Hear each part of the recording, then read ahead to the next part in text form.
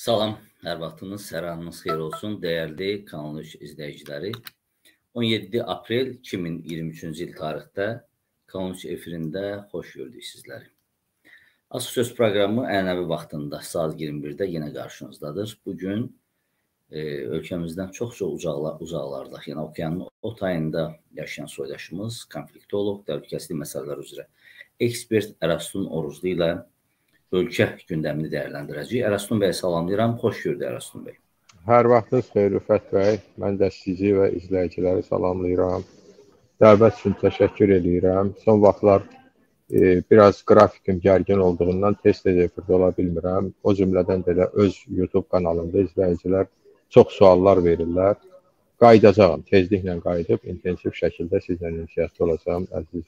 Çox təşəkkürlər. Necə olursa olsun, uğur olsun Ərəstun bəy. Birbaşa mövzuya keçək, çalışacağıq ki, bilirəm bu gün də bazar günüdür. Sizin çox vaxtınızı almaq istəmirik, amma izləyicilərimiz doğrudan da gerçəkdən sizin fikirlərinizə çox maraq göstərirlər təbii ki. Zaman-zaman bizim efirimizdə də siz özünüz şahid olmusunuz. Dünən təxminən 21 saat öncə belə bir fikir paylaşmısınız. Ölkəni xalqı yesir gününə qoymuş hökumətin başçısının qərarı ilə yetim sözü valideynlərini itirmiş sözlərlə əvəz edilib. Bir dostum demiş, bunu ki edirdilər, heç olmasa adamı olmayan sözlərlə əvəzləyərdilər. Yəni ironik anlamdadır.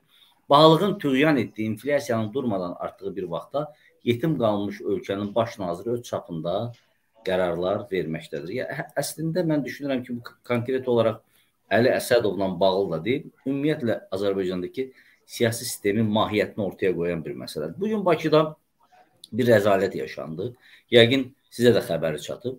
Bakının mərkəzində e, Park Bulvar adlı e, ticarət mərkəzində Moskvada yaşayan bir Azərbaycanlı soydaşımız Hüseyn Həsənov adında izləyicilərlə görüşə gəldi. İzləyicilərlə görüşə gəldi və o görüşdə elə bir dəhşətlər yaşandı ki, elə bir izdihamlar yaşandı ki, şəxsən biz e, mənim üçün inanılmaz idi ki, bu insanlar niyə gəliblər bura? Azərbaycanda gerçəkdən biz biraz bu məsələlərdə soyuqqanlıyıq, e, fanatlıq olmaq məsələsində, elə siyasi fəaliyyətlərdəki durumla bağlı. Amma oradakı izdihamın orada hətta ölən olduğu e, iddialar da var. Mən dəqiq bilmirəm. Fotolarını paylaşmışdılar az öncə. Yəni adam o izdihamın nəticəsində. Mən niyə görə sizdən soruşuram? Bu millət eşitdiyimə görə e, Hüseyn Həsənov e, o tədbirin başlanmasından əvvəl elan edib ki, yuxarıdan sizə telefon tullayacağam. Yəni milləti gerçəkdən e, yesir gününə qoyublar da. İnsanlar bir telefona görə, ya kimsə onun fanatı da ola bilər. Ölkə bu durumda, Qarabağda e, başımıza gələnlər azmış kimi ölkənin mərkəzində insanlar bu şəkildə öz taleylərinə biganə olduqları halda niyə bir blogerin gəlməsinə bu şəkildə reaksiya göstərdilər? Mən şəxsən bu gün özüm e, ölkənin Daxili İşlər Naziri Vilayət Eyvazova bir post yazdım, yəni müraciət formasındakı. Necə olur? Ötən e, deməli ayın 12-sində 12 apreldə Azərbaycan Demokratik və Rifah Partiyasının 50 nəfərə qədər üzvünün Rusiya səfirliyi qarşısında dinc piket keçirməsinə mane olursan özü də çox kobudcasına, amma minlərlə insanın o şəkildə gəlib Park bulvarının qarşısında e, pandemiya deyirsən, özü deyir ki, pandemiya məsələlərini bəhanə eləyərək, yəni əsas gətirərək məsləhət bilmirik piketin keçirilməsinə. Mən istəyərdim ki, elə bugünkü olaya da sizin münasibətinizi bil bilək. Çünki mən bilirəm ölkə məsələlərini heç zaman biganə deyirsiniz və ümumi ölkədəki bu durumu dəyərləndirək. Buyurun. Təşəkkür edirəm Rüfət bəy. Ardıcıllıqla sizin suallarınıza çalışacağam cavab verim. Demək, birinci həmin o postla bağlı mən Azərbaycan dilinin zaman-zaman dəyişdirilməsi cəhdlərini bir mənalı şəkildə pisləyirəm. Dil millətin düşüncə təfəkkür tərzidir. Dil millətin təkcə ünsiyyəti deyil, mədəniyyətidir, irsidir. Yetim sözü heç də bir belə deyək də özündə bir təhqiramiz yük daşımır. Yetim, yəni atadan, anadan məhrum olmuş. Yetim həm də vətəndən məhrum olmuş deməkdir. Məsələn, mən özüm yetiməm. Əgər mən öz vətənimdə yaşamaq istəmirəmsə, mən iki qat yetiməm. Ata-anadan da məhrumam, vətəndən də. Və bu sözü mən, bu xəbəri mənə mənim bir dostum göndərdi. Mənim siyasətdə olmayan, ictimai həyatda olmayan bir çox əziz bir dostum var. Mənə çox əziz, çox doğma bir insandır. Mən onun fikirlərindən çox yararlanıram. Bilirsiniz, 5 nəfər, 10 nəfər, 50 nəfər məni izləyən varsa və hər birinə təşəkkür edirəm. Həqiqətən mənim çox sabit bir izləyici auditoriyam var. Mən də çalışıram həmişə qarşılıq verim, onların gözləntilərini doğruldum. Həm də diqqətlərinə, fikirlərinə laqeyd qalmayım. Amma mənim də bir müdrik rəhbərim deyə biləcək bir dostum var ki, mən onun fikirlərindən çox yararlanıram. Bax, o adam bu sözü dedi ki, yaxşı bunu dəyişirdilər, heç olmasa bunu eləyəydilər adamı olmayan. Bəli, Azərbaycanda tamamilə ağıllı, dəyərli, müdrik bir fikirdir. Mən dedim, oğurladım bunu.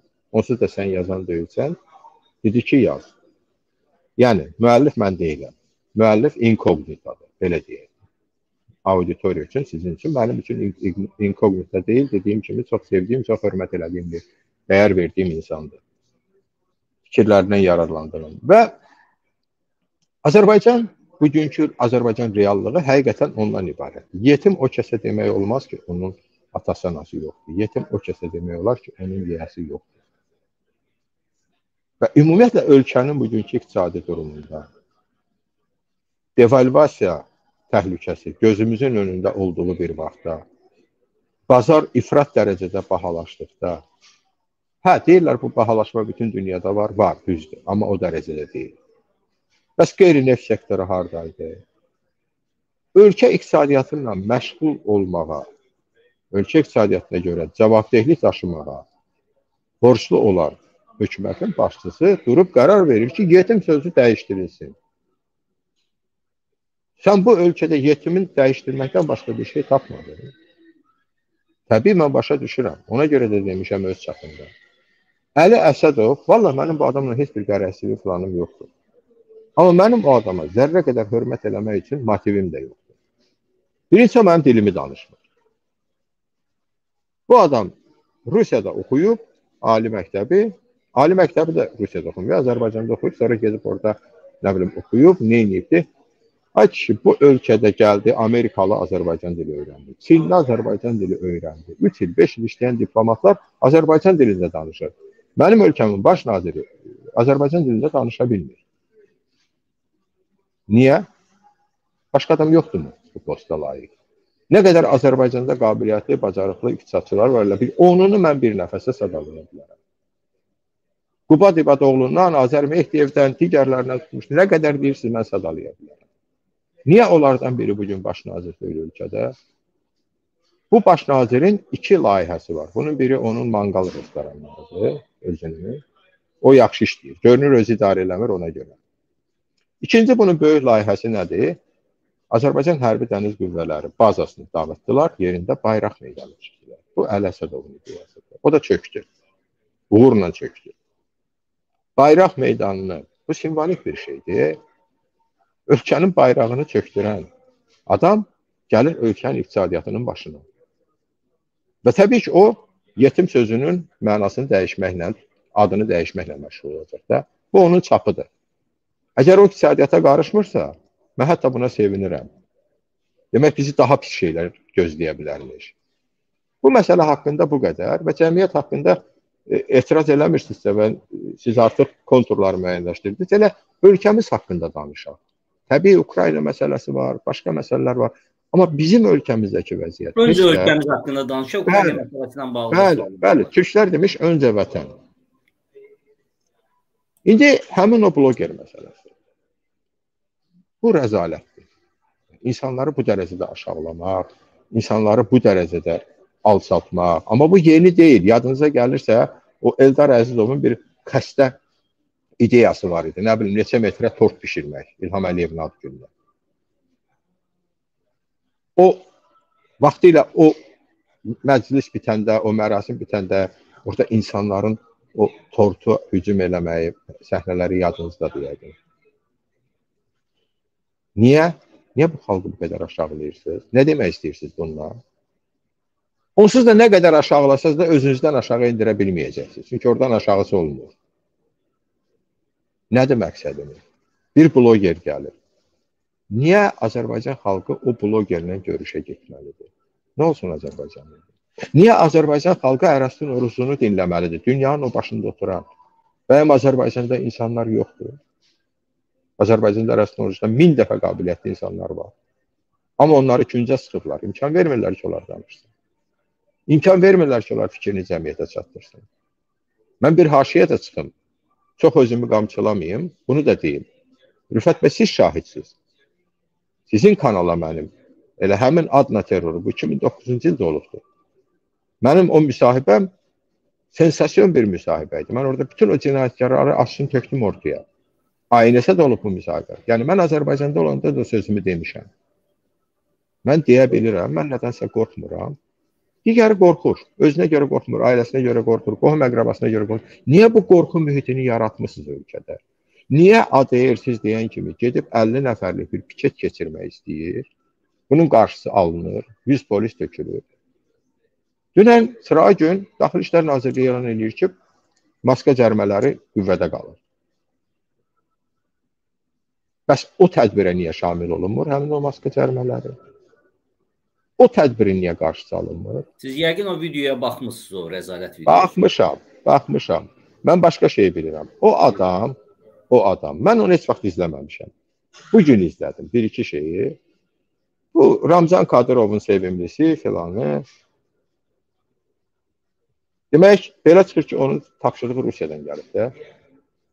Ayşi Rusiyadan gəlib. Ona görə ona toxunmurlar. Və yaxud da Rusiyadan göndərilib, ona görə onun tədbirinə mane olmurlar. Mən sizə sual verirəm Rüfət bəy. Dünya görmüş insansınız. Təşəkkür edirəm.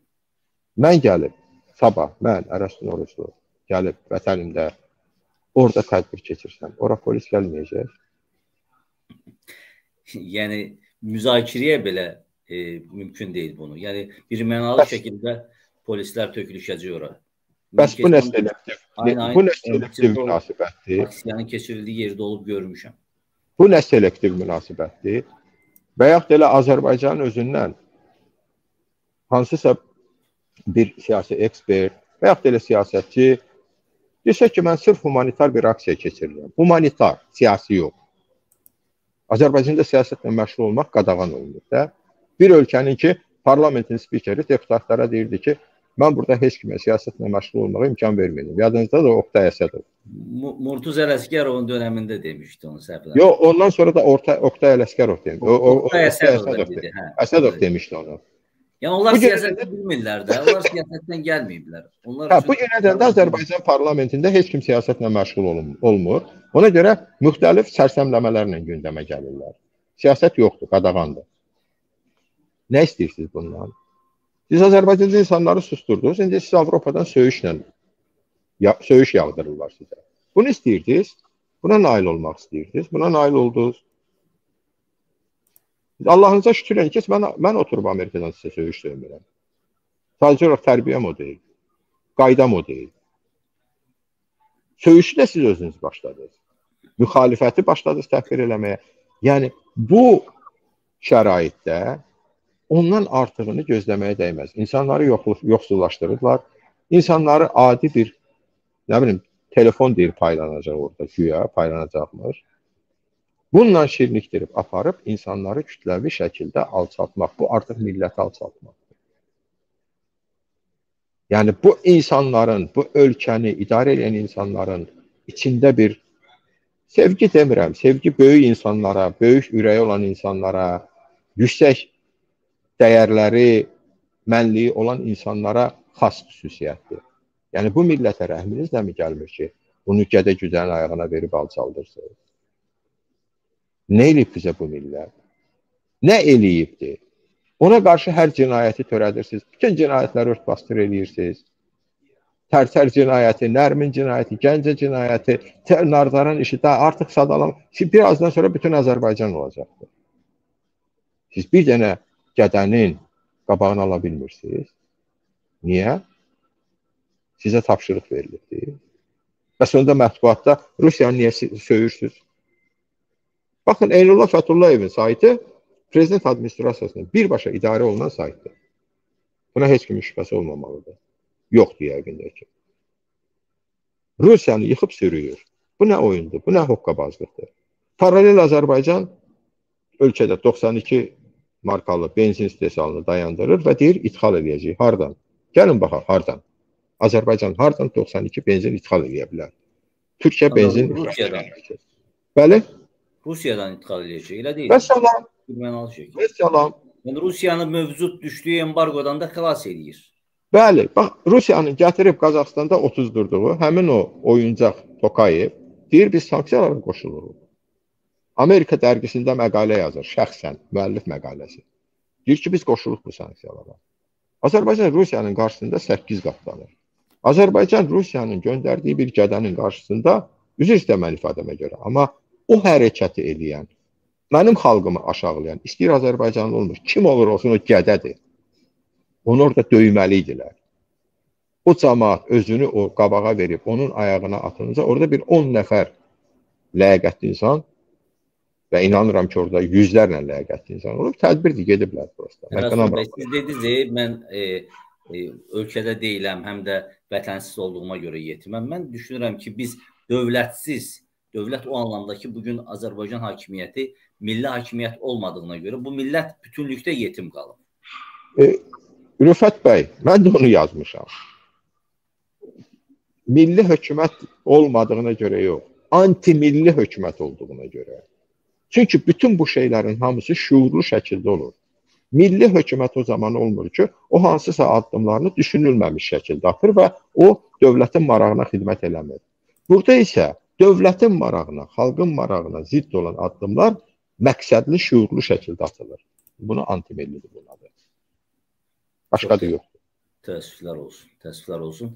Sizin haqqınızda xoş sözlər var. Cəlil bəy yazır, Eraston bəy son illərdə gördüyünüz əvəz olmaz təbliğatınıza görə təşəkkür edirəm. Sizə inan ki, çox böyük iş görmüsünüz. Sağ olun Cəmil bəy, Cəlil bəy, üzr istəyirəm. Sonra Sahil bəy, e, Oruc bəy, Gülnaz xanım, Vali bəy, hər kəs sağ xoş sözlər deyir. Mürşid bəy e, deyir, salam bir gəzməyə görə dəyərmi? Bunlar hansı ağla qulluq edir?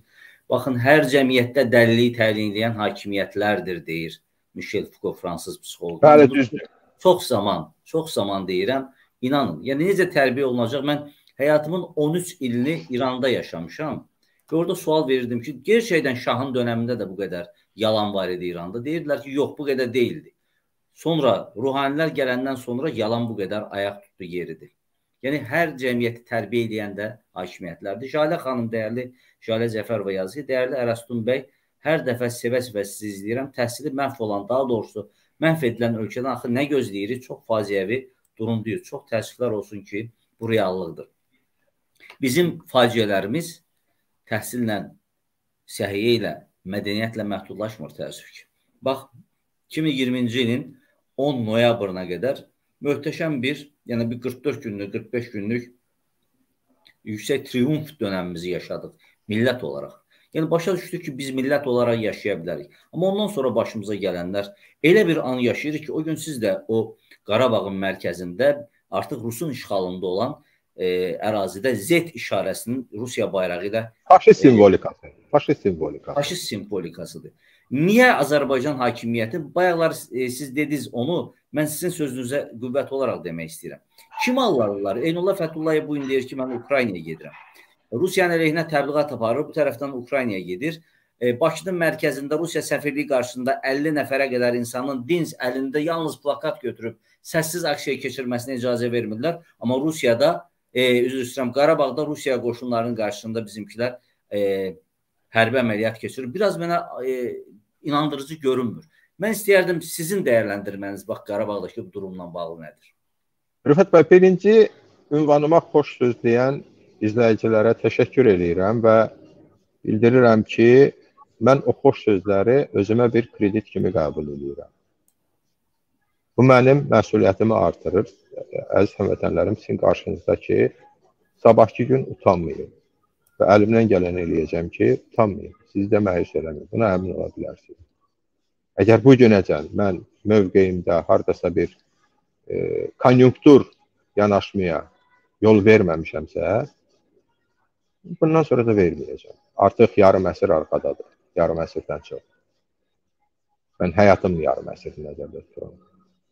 İkinci məsələ həmin o Rusiya münasibət məsələsi.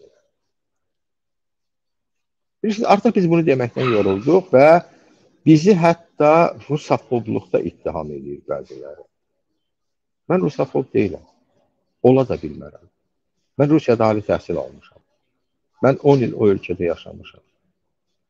Mən rus xalqını da sevirəm, rus ədəbiyyatını da, Rusiyanın özünü də ölkə olaraq. Əgər mən Putini tənqid edirəmsə, Putinin siyasətini faşist siyasəti adlandırıramsa, bu deməkdir ki, mən rus xalqını faşist hesab edirəm. Mən İlham Əliyevi tənqid edirəmsə, bu deməkdir ki, mən Azərbaycana nifrət edirəm. Onda elə Azərbaycanofob da deyə bilərsiniz də mənə. Bu spekulyasiyalara son qoymaq lazımdır. Ay nə bilim, Ukraynanın arxasında e, siyonistlər durur, masonlar durur, nələr durur, NATO durur.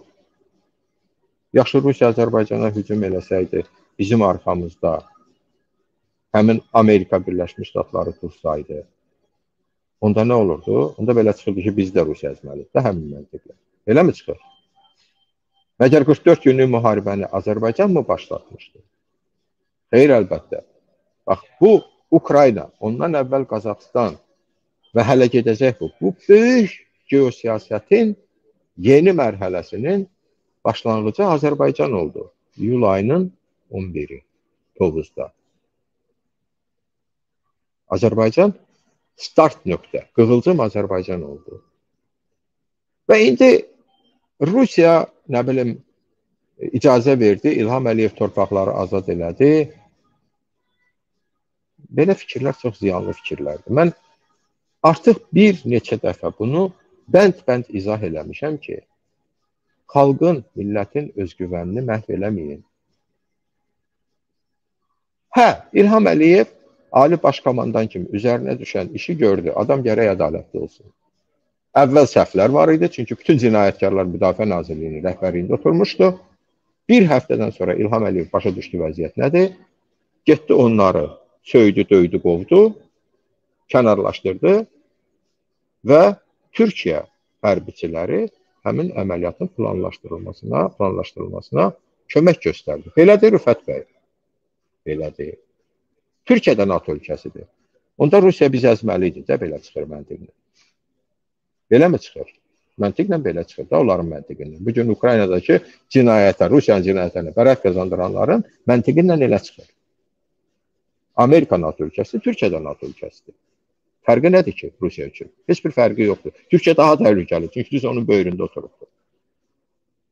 Və artıq bir neçə nöqtədə Türkiyə ilə Rusiya üz-üzə gəlir. Amma bütün faciələrin kökü harda qoyuldu? Noyabrın 10-unda. Bax, həmin o Türk məramlı adı altındakı Rus işğalçı ekspedisiya korpusunu, onun adı belədir, göndərdilər Azərbaycan ərazisinə. Onu qəbul elədilər. Qanunsuz şəkildə. Bu günəcən də orada qanunsuzdur.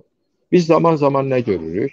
Onlar əlavə postlar yaradır, əlavə əraziləri nəzarətə götürürlər, öz deməli məsuliyyət ərazisi kimi, cavabdehlik ərazisi kimi erməniləri silahlandırırlar. Orada ləğv olunmuş və həmin o üç tərəfli bəyanat əsasında artıq əhəmiyyətini itirmiş, artıq ləğv olunmalı olan erməni silahlı qüvvələrini təlim keçirirlər, onları silahlandırırlar. Xeyr olar. Və Azərbaycan tərəf buna faktiki olaraq susur. Fərrux kəndini, kəndi istiqamətində Azərbaycan əməliyyat keçirir. Rusiya tələb eləyir, Azərbaycan ordusu geri çıxır. Bilirsiniz, geri çıxıbdır. Niyə yalan danışırsınız millətə? Yalnız Fərrux ətrafındakı yüksəkliklərdə qalıb Azərbaycan ordusu. Fərrux kəndinin özündə isə ruslar gətirib bayraq sandıblar. Kalibr kanalı. Açın baxın. Çəkib qoyub ora. Amma bizə yalan danışırlar. Rusiya qarşısında çünki zaloji bir qorxu var. Mən bilmirəm bu qorxudurmu? Bəlkə də əməkdaşlıqdır. Mən onu da deyə bilmərəm. Bəlkə fikirləşirlər ki, Rusiya Ukraynadan qalib çıxar, sonra üstümüzə gələr.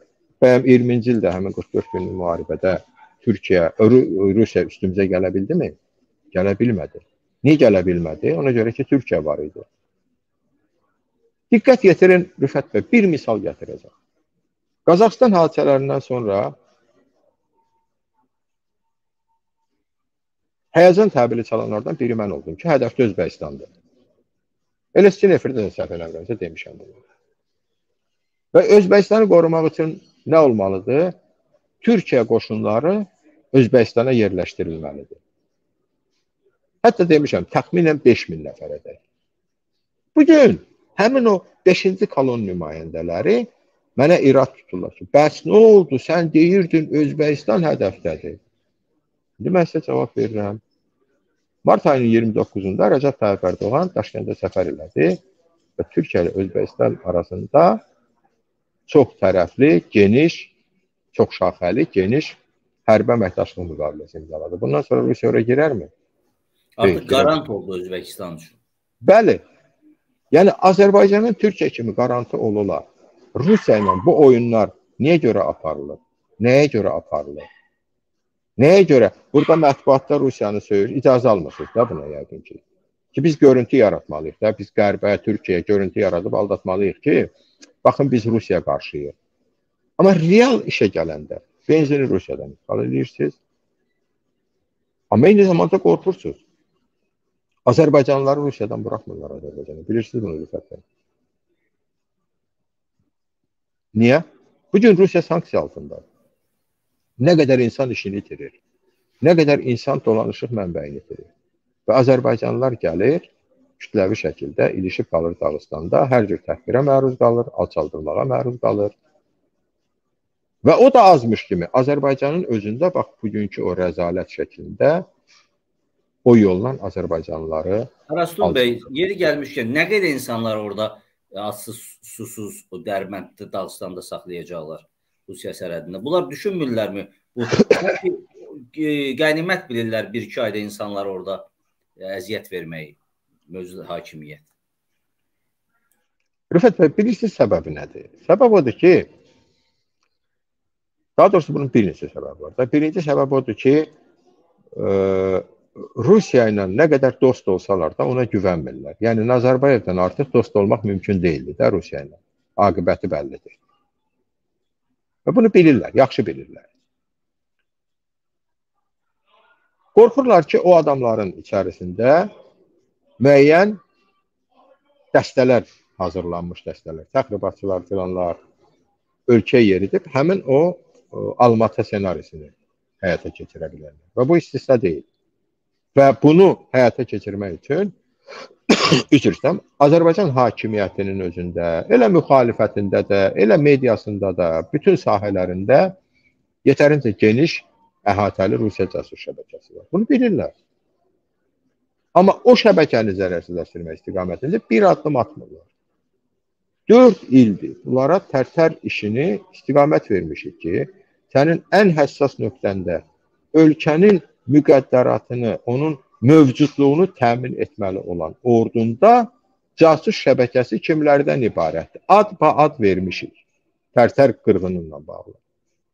Prokurorluq bax bu gün 4 ayda istintaqa başlayıb. 4 aydır. 4 nəfəri həbs ediblər. Onun biri qərargah rəisidir. Məntiq var da, adi məntiq. O Vüsal Ələsgərov. Onu həbs ediblər. Onun komandiri, hərbi hissənin komandiri var, bir də qərargah rəisi var. Bəs o adam niyə həbs olunmayıbdı? Mən sizə sual verirəm. Orduda olmusunuz da yəqin. Mən də olmuşam orduda. Komandir qərar vermədən, baş qərar, üzr istəyirəm, qərargah rəisi, hərbi hissənin qərargah rəisi gedib işgəncələrdə iştirak edə bilər. Hərbiçiləri işgəncələrə cəlb edə bilər. Mümkün deyil. Mümkün deyil. Nəzəri baxımından təbii ki. Bəli, nəzəri baxımından mümkündür. Bu ordudur, bu bu biznes deyil, bu nə bilim e, kolxoz deyil, bu ordudur. Bax bir dənə misal gətirdim. Onlarla belə misal gətirə bilərəm. Yaxşı, siz qorxursunuzsa, birinci o qorxduğunun sənin daxilində yerləşdirdiyi təxribatçı şəbəkədən canını qurtarmalısan. Bu istiqamətdə heç bir addım atılmır. Heç bir addım atılmır. Vermişik də siyahını vermişik. Əksinə, baxırsan ki, onlar vəzifələrdə böyüyür. Və qalırsan mat məhdəl ki, kimdir bunu eləyən? Bilirsiniz, mən açıq deyirəm. Bəzən insanlar buna görə mənə iradını bildirir. Mən hər dəfə dövlət başçısının üstünə getməyin tərəfdarı deyiləm. Niyə deyiləm? Deyim sizə. Mənim ölkəmdə müstəqil məhkəmə sistemi olsaydı, heç dövlət başçısı yada düşməzdi. Həmin o müstəqil məhkəmə onun ən yüksək vəzifəyə təyin etdiyi rəsmini cinayətinə görə götürüb qoyardı içəri. Düzdür? Və biz Düzdür. güvənirik. Amma ölkəmizdə məhkəməni də prezident təyin edir. Bəli. Yəni, təyin edir, idarə edir. Təyin eləmək başqa şeydir. Amerikada da hakimi prezident təyin edir. Amerikada Trumpın təyin elədiyi prezident, e, hakimi, hakim Trumpın qərarını ləğv elədi. Onun təyin elədiyi ədliyyə naziri Trumpın əleyhinə çıxdı. Düzdür, bu qanunsuzdur. Yəni bizim ölkənin reallığı budur ki, biz ədalətin bərpa olunmasını birinci şəxsdən gözləməliyik. Xahiş edirik, müraciət edirik, deyirik arxanda durmuşuq, at bu addımı. Mən hərdən təəccüblənirəm. Bəlkə İlham Əliyev istəyir ki, məsələn, mən yalvarım ona, nə olar? Xahiş edirəm də, qurban olum İlham Əliyev. Mən onu deyəcək adam deyiləm axı. Bəlkə İlham Əliyev gözləyir ki, hamı onun qarşısında alçalsın, o alçaltmaqdan ləzzət alsın, sonra hansı addımlar atsın. Amma heç vaxt onu inkar eləmirəm, danmıram ki, ölkədə baş verən bütün hadisələrə görə məsuliyyəti İlham Əliyev daşıyır. Ona görə ki, o ölkənin avtoritar rəhbəridir. Ona görə ki, ölkədə bütün qərarları o verir. İnandırıram sizi, yetim sözünün leksikondan çıxarılmasıyla bağlı qərarı da onunla razılaşdırıblar. Şübhə eləmirəm. Şübhə eləmirəm. Başqa şey ola da bilməz. Yəni bu yəni belə olduğu e, öz bir səbəb. Bəli, ikinci bir səbəb Azərbaycan hakimiyyətinin bütün pillələri həmin o dediyim Rusiya agenturasından doludur. Onlar təsir edirlər, yönəldirlər. Və burada çox iradəli siyasi rəhbərlik olmalıdır ki, bunları otuzdursun yerinə. Heç olmasa onlar müdaxilə eləməsinlər. Amma biz tam əksini görürük nəticəni görürük və nəticə deyir ki, siyasi iradə yoxdur və yaxud yetərincə deyil. Çox radikallıq eləməyək də, obyektiv olaq. Amma nəticə mə məlumdur. Üçüncü səbəb, Rusiya Azərbaycandan ixal olunan pomidor xiyara, üzr istəyirəm də, adı budur. Qadağa qoyacaqdır. Cəhənnəmə qoysun. Rusiya bəyən bu gün başqa yerdən alacaq imkanı var. Bu gün qadağa qoyur, şantaj eləyir. 5 gündən, 10 gündən sonra Rusiya yalvaracaqdır ki, gətirin. Niyə? Çünki bütün ölkələr embargo qoyubdur. Sanksiya tətbiq olunub Rusiyaya. Azərbaycanda neftin emalını dayandır. Rusiya gəlir vermək üçün. Bu nə deməkdir? Bu nə siyasətdir? Bu siyasətin çərçivəsi hanı, bunun konturları hanı, bunun hədəfləri hanı? Gözləyək görək Rusiya birdən Ukraynada qalib çıxar. Tutalım ki, Rusiya sabah Ukraynada qalib çıxır. Nə edəcəksiniz? Və nə edəcək Azərbaycan hökuməti? Və görünən tablo da odur ki, qalib çıxmayacaq amma. Elə deyilmi? Əlbəttə çıxmayacaqdır. Bütün dünya birləşibdir ki, Rusiya orada məğlub olsun. Bəyən bu görünmür. Ərastul bəy, yeri gəldi Qarabağ. Qarabağ məsələsində deyim Rüfət bəy, toxunmuşsunuz. Buyurun, buyurun, buyurun. Mənim ölkəmdə Rusiya gətirir, postlar yaradır əlavə, əraziləri nəzarətə götürür, erməniləri silahlandırır və gətirir həmin o dünyanın bir çox ölkələrində qadağan olunmuş faşist simvolikası yerləşdirir. Bundan o tərəfə düşmənçilik olurmu?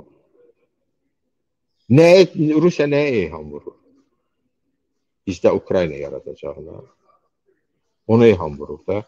Yoxsa gətirib nəzarət elədiyi ərazilərdə o boyda bayrağını Z şəklində yerləşdirməyin adı nədir? Nə demək istəyir Rusiya? Niyə Azərbaycan Xarici İşlər Nazirliyi buna Ona qədər şöhrət xiyabanında salmışdı orada. Bəli. Bəli. Harda özdə Xocalıda. Bəli. Bax, bu məsələləri götürüb təhlil eləyəndə çox acınacaqlı bir mənzərə alınır. Həqiqətən acınacaqlı bir mənzərə alınır və mənzərə də ondan ibarətdir ki, Azərbaycanda bütün siyasi koordinatlar ən azı Rusiya boylanaraq müəyyənləşdirilir. Mən hələ demək istəmirəm ki, Rusiyadan sifarişlə müəyyənləşdirilir.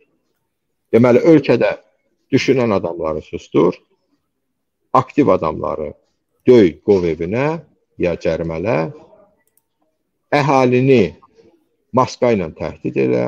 Bitib maska söhbəti. Dünyanın hər yerində bitib. Artıq vaksin söhbəti də bitibdir. Test söhbəti də bitibdir. Özləri məlumat verirlər ki, nə bilim 13 adam yoluxub, 15 adam yoluxub, ölüm yoxdur və ya bir ölüm var. Qripdən belə daha çox adam ölür gün sayına götürəndə, adam başına gün sayına. Ölüm faktı da yoxdur Erastum bəy. Bəli. Yəni... Amma necə olur sən küçədə maskasız gəzəni təhdid edirsən ki, cərimələnəcəksən və bir Rusiyanın göndərdiyi bir dılğır gədənin Azərbaycan xalqını aşağılayan bir tədbirinə imkan verirsən. Deməli o yazılar olsun. Hansısa şəkildə Rusiyadan sifariş olunurdu. Niyə bu qədər bunlar Rusiyanın qarşısında əyilirlər? Bax sual budur. Bilmirəm. Dediyim səbəblər. Rastum bəy, izləyicilərdən çox xahiş edirəm, həm də efiri bəyənin. Efiri bəyənənlərin sayı efir izləyənlərin sayından qat-qat azdır. E, efirdə sizin də yaxşı tanıdığınız e, Amerika Birləşmiş Ştatlarında yaşayan soydaşımız təhlükəsizlik məsələləri üzrə ekspert Ərəstun Orucludur. Ərəstun bəy, e, Qarabağdakı bu addımlara bir də Azərbaycan mediasında, sosial şəbəkələrdə bir haqq qazandıranlar var. Bu təslimçiliyə, Rusiya qarşısındakı bu reveransa, bu biabırçı reveransa haqq qazandıranlar var.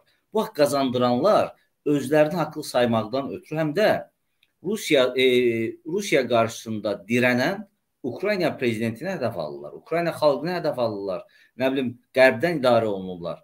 Mən düşünürəm ki, bunlar kompleks halında idarə olunan bir sistemdir ki, siz demişkən, Rusiyadan alınan direktivlər əsasında e, həyata keçirilir. İstəyərdim ki, elə bu e, söhbət əsnasında həm Ukraynadakı olaya və həm olayların Azərbaycana təsirləri haqqında da fikrinizi eşidək.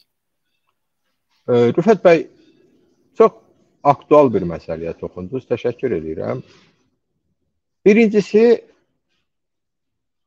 sizin dediyinizə zərrə qədər etirazım yoxdur. Bütün bu şəbəkə çox gözəl qurulmuş və tam olaraq təlimatlarla idarə olunan şəbəkədir. Zaman-zaman onlara yeni dırnaq arası tezislər verilir. Atın ortaya. Və baxırsan ki, yeri gəlmişkən çox maraqlı fenomendir. Bu barədə mən danışmışam. Dini icmaların rəhbərlərinə müraciət elədim. Hacı İlqar İbrahimoğlu'ndan başqa heç kim münasibət bildirmədi. Bu nə məsələdir? Niyə Azərbaycandakı İran təmayüllü şiə dindarların və yaxud özünü dindar adlandıranların mütləq əksəriyyəti Rusiyanın Ukraynadakı cinayətinə bəraət qazandırır. Və bunu da Ukraynada sionist dövləti mövcuddur, sionistlərin əlindədir, bilirsiniz də. Çox iyrənc bir təbliğatdır, çünki bunun arxasında başqa kontekst dayanır, antisemit kontekst, kontekst dayanır. Ukrayna xalqının seçdiyi prezident milliyyətcə yahudidir. Və bu həm ona, həm Ukrayna xalqına başucalığı gətirən faktdır. Deməli, Ukraynalılar eyni qaydada Azərbaycanlı da prezident seçə bilər, Gürcünü də seçə bilər, Erməni də seçə bilər. Bu xalqın canında millətçilik yoxdur, irqçilik yoxdur. Bax, o sionist söhbəti ortaya atan Azərbaycanlılar isə irqçilərdir. Ən azı onlar antisemitizmə yoluxub, Və mən sizi inandırıram ki, səbəb də Tehrandan və Moskvadan verilən təlimatlardır. Bayaq mən dedim axı. Həmin məntiqlə əgər NATO bizim də arxamızda durursa, deməli Rusiya bizi əzərsə o yenə haqlıdır. Və belə də olar. Allah eləməmiş. İnandırıram sizi ki, həmin adamlar əlinə silah götürüb Rusiyanın tərəfinə keçərlər özü də günü günü birinci gün, heç ikinci günü gözləmədən. Bax bu çox təhlükəli bir fenomendir. Adamlar çalışırlar bütün yollarla demokratik dəyərləri, nə bilim, e, vətənpərvərliyi, hər şeyi qaralasınlar, ləkələsinlər və bunu da bir uydurma hümmətçiliklə maskalayırlar. İnancım var, get inan da, sən səndən kimin nə işi var? Sizi döyəndə, əzəndə, sizi təqib eləyəndə inancınıza görə biz sizi müdafiə edirdik. Heç özünüzü səsiniz çıxmırdı qorxudan. Mıqq eləyə bilmirdiniz, üzr istəyirəm. Biz sizi müdafiə eləmişik. İndi siz bizim üstümüzə gəlirsiniz ki, biz Rusiyanın Ukraynaya təcavüzünü pisləyirik. Niyə? Siz niyə alqışlayırsınız? Nəyə görə? Mənim nəyimə lazımdır? Ukraynanın arxasında nədir? Rusiyanın arxasında nədir? Mənə fakt lazımdır. Ukrayna, Rusiya hərbi təcavüz eləyib, şəhərlərini bombalayır, yerlə yeksan eləyir, yer üzündən silir, mülki əhalini öldürür, uşaqları zorlayır rus əskərləri. Talançılıqla məşğulda siz buna bəraət qazandırırsınız, hə? Deyirsiniz ki, düz eləyir. Deməli siz düşünürsünüz ki, bu məsələn bunların bu İsrail nifrəti. Deməli sabah kimsə İsrailə qarşı onu eləsə, siz buna da bəraət qazandıracaqsınız, hə? Onda elə İsrail düz eləyir də öz düşmənləri. Məsud bəy, o tendensiyanın özündə də kifayət qədər yəhudilər var, Musəvi cəmaəti deyirlər və normal yaşayırlar. Mən düşünürəm bunun arxasında heç bir dini faktor dayanmır. Onun Əlbəttə. siyasi faktor dayanır. Əlbəttə elədir. Rusiya, Rusiya ilə ittifaqı mən düşünürəm ki, bu, bu kontekstdən dəyərləndir dəyərləndirmə doğru olar. 100% razıyam sizlə. İranda dünyada Yahudi icması arasında, Yahudi xalqı arasında ən nüfuzlu icmalardan biridir. Parlamentdə də özü var, İslami Şura Məclisində. Bəli, Şir Şiraz Yahudiləri. Bəli, bəli, doğru. Hətta onların nümayəndələri zaman-zaman İsraildə prezident olubdu. Təsəvvür edirsiniz o icmadan çıxmış adamlar. Yəni ki, İranın özündə bu problem yoxdur. İranda sorğu keçirirlər əhali arasında. Özdə bunu İranlılar keçirmir, Avropalılar keçirir. Məlum olur ki, əhalinin 70-80 faizi yahudilərə rəğbətlə yanaşır. 10 faizi təxminən tolerant yanaşır. 8-10 faizi şübhə ilə və nifrətlə yanaşır. Azərbaycanda özünə din, dini kəsim deyənlərin, imanlı deyənlərin, valla mən orada iman əlaməti görmürəm. Hansı imanla söhbət gedir? Sən zorakılığa, qətlə, şəhərlərin yer üzündən silinməyinə bəraət qazandır və bunu imanla əsaslandır. Bu imansızlığın ən böyük nümunəsidir. Yəni bu Azərbaycana eksport olunan siyasi texnologiyadır. Burada dindən filandan əsər əlamət yoxdur. Din yalnız onun belə deyək də o dekorasiyasıdır. Din pərdəsi arxasında gizlədilir bu siyasi konyektürə. Mən bunu görürəm açığı. Çox doğru. Çox doğru. Bir neçə izləyicilərimizin suallarını da sizdən soruşmaq istəyirəm. Məsələn, izləyici soruşur ki, e, Əraston bəy, sizcə Qərb Rusiyada demokratik cəmiyyət qurulmasını istəyər? Axı demokratik Rusiya bir neçə 10 il sonra güclü Rusiya ola bilər. Lütfən bu sualı kontekstində həm də savaşın e, gələcək aylardakı o tablosunu da, savaşın sonucunu, yəni bayaqları əslində qeyd etdiniz ki, Rusiya artıq məğlub sayılır. Moskva Qaradənizdə batdığı kimi e, bir neçə ay sonra Moskvanın özü də, Kremlin özü də batmaq təhlükəsi altındadır. Nəyə görə? Çünki Rusiya bütün dünyaya qarşı savaş açdı. Belə bir e, ola gerçəkliklə üz-üzə qaldı. E, İzləyicimizin sualının e, çərçivəsində zəhmət olmasa savaşın sonucunu da istəyərdim ki, son olaraq e, fikrinizi bildirəsiniz. Deməli, birincisi Qərb istəyərmi Rusiyada demokratik quruluş olsun? Hı. Mən Qərbin adından bunu deyə bilmərəm, amma dərk elədiyim, anladığım dərəcədə öz fikrimi söyləyə bilərəm. Əlbəttə istəyər. Niyə? Rusiya dünyanın resurslarının 25-30 faizinə sahib olan nəhəng bir dövlətdir. Təbii resursların.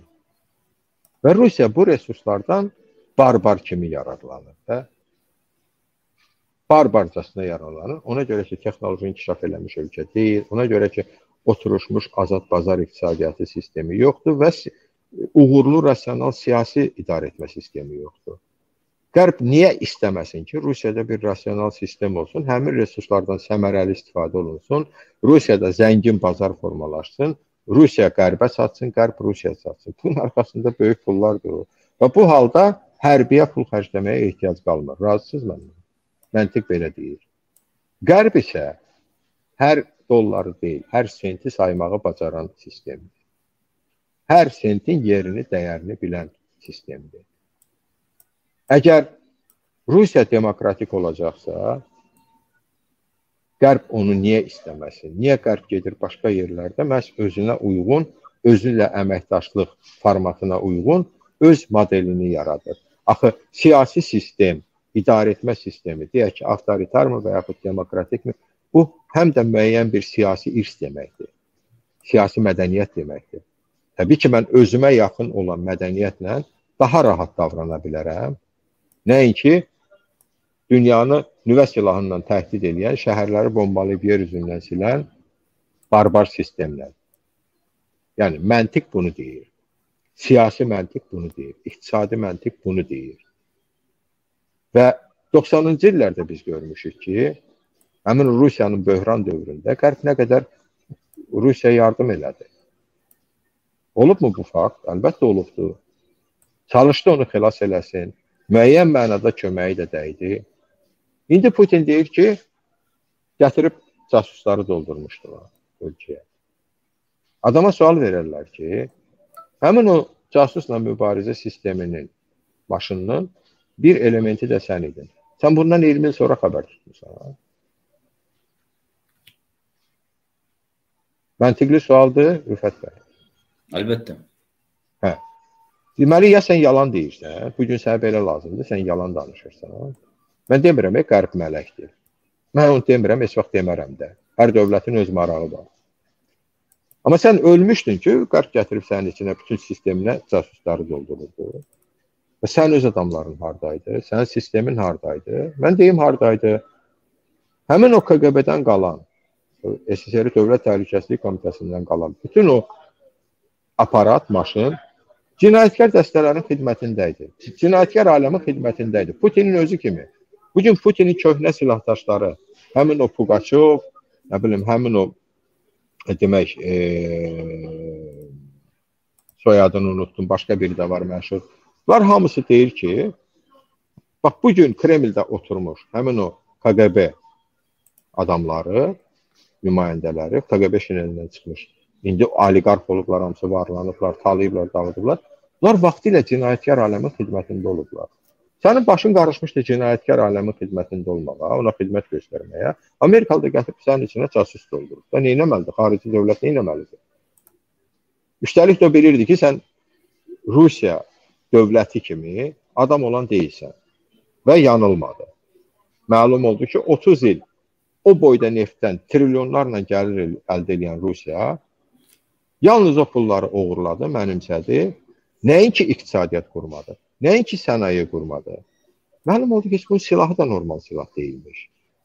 Onda adama sual verərlər ki, sən dünya nə ilə meydan oxuyursan? Çox doğru, çox doğru. Bax, budur söhbət. Ona görə də mən düşünürəm ki, qərb məntiqlə yanaşır. Almanlar nə qədər işlədi? Yaxşı, Amerikalılar, onlar deyək də o e, imperiyadır. Bəs Almaniyanın bütün səyləri, Almaniya nə qədər çalışdı? Bu ki, e, tarixi, ənənəvi münasibəti olan iki ölkədir. Özdə çox yaxın münasibətdir. Baxmayaraq ki, öz aralarında müharibələr də olub. Kimlə kimin müharibəsi olub ki, Britaniya ilə Amerikanın da müharibəsi olub müstəqillik elan olunanda. Amma bu gün ən yaxın müttəfiqlərdir. Yəni bax bütün bu söhbətlər hamısı yalnız ölkədəki mövcud siyasi konjunkturanın qorunmasına xidmət edir. Yəni konkret halda Rusiyanın. Ukrayna müharibəsi. Rusiya artıq məğlubdur. Rusiya atom bombası ata bilər, amma yenə o məğlub olacaq. Niyə görə? Çünki Rusiya üç məsələdə uduzdur. Birinci, onun Ukraynaya yönəlik xarici siyasət doktrinası ya yox idi, ya yanlış idi. İkinci, onun bu müharibəni əsaslandıran ideoloji platforması yoxdur. İdeologiya çox vacib şeydir. Çox doğru. Hitler ideologiya ilə Sovetlərin var idi. Hitler Almanları faşizm ideologiyasından bütün dünyanı fəth eləməyə yönəltdi və Almanlar Çok döyüşürdülər ölümünə. Və üçüncü sən heç döyüşə bilmirsən sən demə.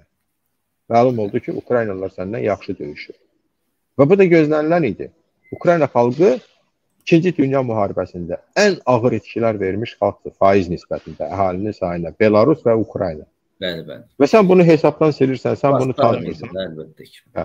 Əgər sən böyründəki özünə yaxın qardaş xalqı Ukraynalını tanımırsan, NATO səndən yaxşı tanıyıb, gəlib onu silahlandırırsa, demək sən məğlubsan da, da bunun ayrıdır. Çox doğru, çox. Yarasın bəy, vaxtınızı çox almaq istəmirəm, amma çox qısa e, suallar var. Mən istəyirəm qısa da cavab verək. Qeys Məcidov deyir ki, Rusiyada yaşayan, evi, işi olan əmiyerlərimizi nə gözləyir? Oradan çıxıb gəlsələr yaxşı olar, yoxsa hələ qalsınlar? Rəstun bəyədən çox xahiş edirik buna cavab versin. Yəni perspektivi soruşur sizdən. Əziz həmvətənim, mən kiməsə yağışdan çıxıb yağmura düşməyi, yağmurdan çıxıb yağışa düşməyi tövsiyə eləyə bilmərəm. Əgər Azərbaycanda bir balaca sivil münasibətlər sistemi olsaydı, Azərbaycanda bir balaca iqtisadi münasibətlər sistemi olsaydı, mövcud olsaydı, mən deyərdim ki, hə, çıxın, gəlin. Amma yoxdur, bu da yoxdur. Rusiyadakı Azərbaycanlılar pulu küçədən yığmayıblar. E? Onlar gərgin əməklə, ağılla, qabiliyyətlə canını qoyub yaradıblar o bizneslərini. Elə təbliğ edirsən ki, bu pulları bu qazancı təmin edir. Heç Rusiyada Rusiya verməyib. Deyir Rusiya çörək verir. Rusiya çörək vermir. Ver Rusiya çörək verir özününkilərə versin. Azərbaycanlılar orada qul kimi işləyiblər. Qul pis mənada yox, e, yəni ki, fiziki baxımdan. O cür qazanıblar o sərvəti. Halal puludur, halal zəhmətinlə qazanıbdır.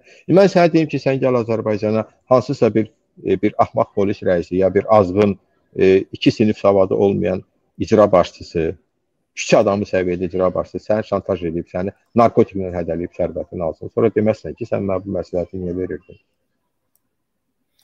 Çox təşəkkürlər. E, Qaləddin bəyə təşəkkür edir, İlqar bəyə, e, Rıza bəyə, hər kəsə təşəkkür edir. Rəfilə xanım yazır, Ərəstun bəy, Azərbaycan hökuməti xalqın mənafeyinə hesablanmış qərarlar yox, yalnız hakimiyyətini saxlamağa planlamış qərarlar verir. Məgər bunu anlamayan var? Bir başqa izləyicimiz Səbuhi bəy və bir başqa izləyicimiz Vüqar Mehdiyev yazır ki, e, Ərəstun bəy, siz e, problemləri deyil, İslama çıxış yolu göstərmirsiniz. Bizə çıxış yolu göstərin. Lütfən. Bu da bir ərkiyana müraciət yox, sizə. Yox, tamamilə doğru, ne? tamamilə doğru yanaşmadım. Mən çıxış yolunu nədə görürəm? Bunu dəfələrlə demişəm. Burada böyük formullar axtarmaq lazım deyil. Çıxış yolu birinci başlayır vətəndaş fəallığından. Baxın 2020-ci ilə qədər, hətta 21-ci ilə qədər hakimiyyət tərtər qırğınını danırdı. Heç danışmırdı o barədə, susurdu.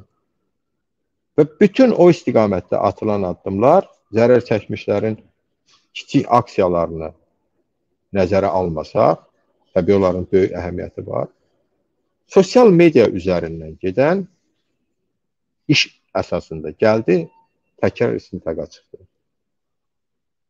Deyə bilərsiniz ki, bayaq deyirsən istintaq getmir. Bəli, amma istintaq gedəcək. Necə ki o istintaqı başlamağa məcbur eləmişik, onu getməsinə də məcbur eləyəcəyik. Mən sosial mediada bir neçə dəfə belə test keçirmişəm. Bir mövzu yazıram, ümumi. Məsələn, baxıram ki, tutalım ki, 10 adam bəyənir.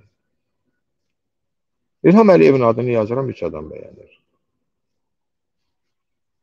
Biz birinci canımızdakı xofu çıxartmalıyıq. Heç kimdən qorxmaq lazım deyil. Heç kimdən. Nə İlham Əliyevdən, nə Stalindən, nə Hitlerdən heç kimdən qorxmaq lazım deyil. Vətəndaş iradəsi, vətəndaş cəsarəti, vətəndaş fəallığı. Hər şey buradan başlayır. Əgər biz gedib haqqımızı pozan, bizi aşağılayan avtobus sürücüsünə səsimizi qaldıra bilmiriksə, və yaxud biz səsimizi qaldıranda üçü deyir ki, Yaxşı da ki, demaqoqluq eləmə. Nə işin var, e, qoy getsin. Nə işin var? Hı. Burada mən sizə nə tövsiyə edirəm? Böyük siyasi strategiyalar. Bunlar üçün hazır olmaq lazımdır. Birinci və ən ümdə vəzifəmiz insanların ictimai siyasi fəallığının artırılmasıdır. Bunu eləməsək heç nə olmayacaq. Bunu eləsək hamısı olacaq. İnandıram sizi. Bunun əhəmiyyətini kiçiltməyin. İstər sosial mediada, istər virtual dünyada, istər real dünyada ta biz özümüzü, öz kimliyimizi, öz şəxsiyyətimizi, öz qürurumuzu müdafiə eləyəcək qədər gücdə olmadıqca bizlə hesablaşılmayacaqdır. Bizim gücümüzü görəndə qanunlar yada düşəcək, işə düşəcək. Bax, budur. Yəni burada böyük model axtarmaq lazım deyil, açığını deyirəm. Böyük model siyasətçilərin işidir. Onlar situasiya uyğun strategiyalar seçib, qurub həyata keçirəcək. Yəni fərdi məsuliyyətimizi dərk edək. Yəni demək bəli, istədiyim. Bəli, bəli. Hər şey fərdi məsuliyyətdən başlayır. Gördüyümüz əyriliyi, gördüyümüz cinayəti məndən keçdi, qardaşıma dəydi, elə bildim saman çuvalına dəydi. Prinsipindən yaşamaqdan imtina eləyib ona münasibətimizi, etirazımızı bildirsək, onda gedəcək iş. Bu olmasa, mən 100 məsləhət verim, heç bir xeyri olmayacaqdır. İnandıram sizə. Olmayacaqdır. Çox təşəkkür edirəm Ərastum bəy. E, mən düşünürəm elə söhbət eləyə bilərdi, amma sizin durumunuzu nəzərə alıram. Bu gün də bazar günüdür. Təbii ki, bazar günü sizin vaxtınızı aldıq, amma çox dəyərli bir söhbətimiz oldu. Kifayət qədər izləyici auditoriyamız oldu. İzləyicilərə təşəkkür edirəm və təbii ki, yenə də təşəkkürlərin başında hörmətli qonağımız verilişimizin eksperti Ərəs Noruzlu idi.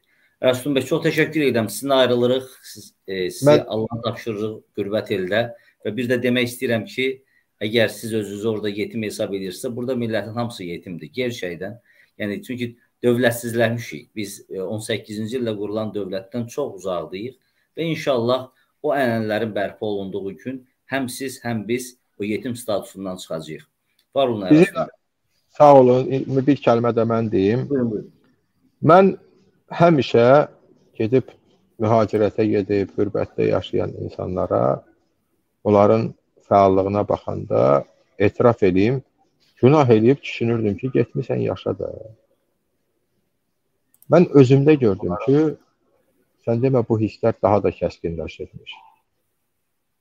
Azərbaycanda baş verən hər şeyi ölkədən kənarda olanda daha ağrılı qəbul edirsən. Mən bunu artıq özümdə duydum. İndi mən o insanlara ürəyimdə, içimdə irad tutduğuma görə utanıram bəzən ki, hə, sən demə belə deyilmiş. Yəni harda olsaq da ruhumuzla, canımızla, qanımızla, düşüncəmizlə, hisslərimizlə Azərbaycandayıq.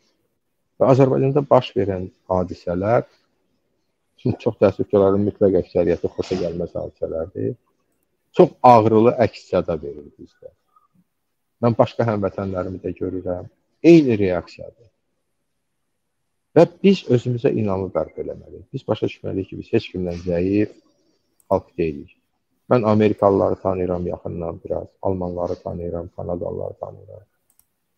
Mən demərəm ki, Rusları tanıyıram. Mən demərəm ki, biz onların hansındansa zəif xalqıq. Xeyr, biz zəif xalq deyilik. Biz zəif insanlar da deyilik. Ona görə birinci özgüvənimizi bərpa eləməliyik və etirazımızı göstərməliyik.